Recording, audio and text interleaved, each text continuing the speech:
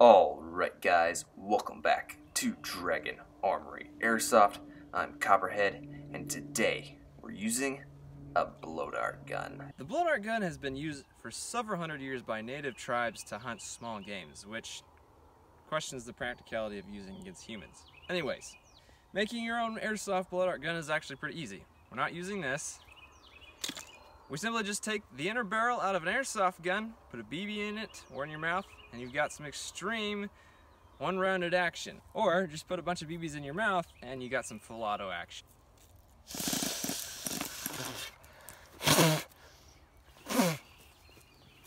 Let's get started. We're taking the blow dart gun into a game of domination. However, I'm not completely cutting my combat effectiveness in half. I'm bringing my FN P90 to increase my chances of survival.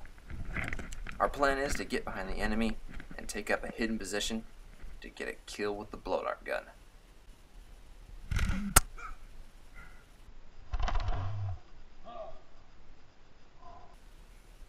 I can't believe I got that.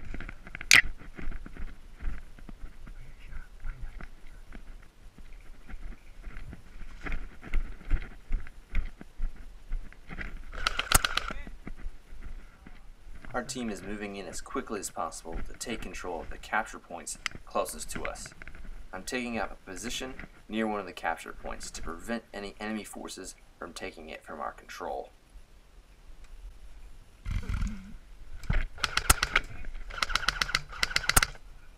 As you guys heard, the blow dart gun is very quiet, making it an excellent short-range stealth weapon. I'm to climb into this tree to try and take out any enemy players who might be walking down this path. There's an enemy combatant down the road. I'm to wait for him to walk into my trap. Unfortunately, the game ended before my plan could completely unfold. That's such a weird noise. Classic! You are so close to walking over here! I'm right here! If only you walked under me, that would have been my second blow dart kill. Actually, it's just naked barrel kill.